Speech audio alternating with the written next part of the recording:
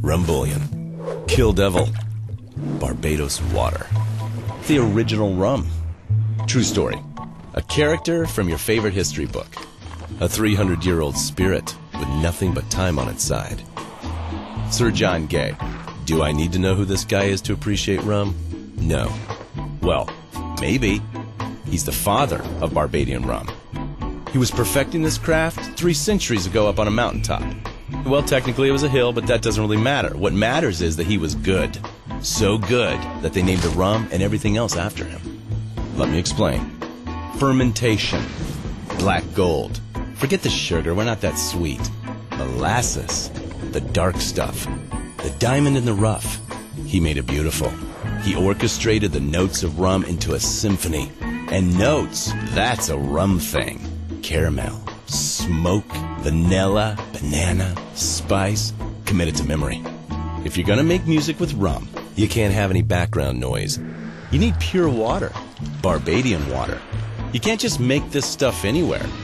This is where the stars aligned for rum. Barbados is a coral reef bed, the best water filtration system on the planet. So when settlers showed up there three, four hundred years ago, it was already there, built into the island. Cool, right? Now distill this twice in a copper pot still. Well, why twice? Why copper? Aromatics, my man.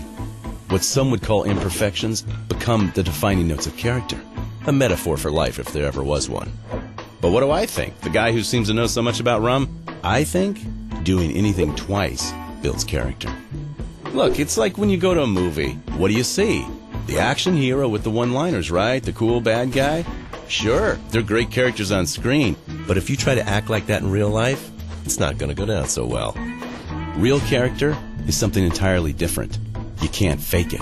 It takes time and maturity to build that up. And maturity comes from having history. Mount Gay is a rum with history. Back when they put rum in barrels to ship it overseas, it always tasted better when it got there than when it left. This is because it was building character. That barrel bared its soul to that rum. Those were close quarters for a three month boat ride. When it arrived, the rum was experienced, wiser, richer, and smoother. Now, if you want to take something like that and put it in a cocktail, it's fine. But here's a rum lesson and a life lesson. Mix appropriately. Always. You want to complement your rum with the cola, not the other way around. You've got to get the ratios right. One of sour, two of sweet, three of strong, four of weak. That's rum punch. Barbadian rum punch. That's where cocktails come from. This whole cocktail thing started because of Barbadian rum. Mount Gay rum, to be exact. Before cola and before ice, you want a cool drink? Drink rum neat.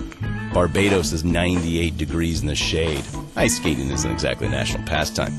You think anyone 300 years back was asking for a drink on the rocks? I don't think so. They were perfecting rum to be a proper drink on its own. Barbados, by way of your local bar.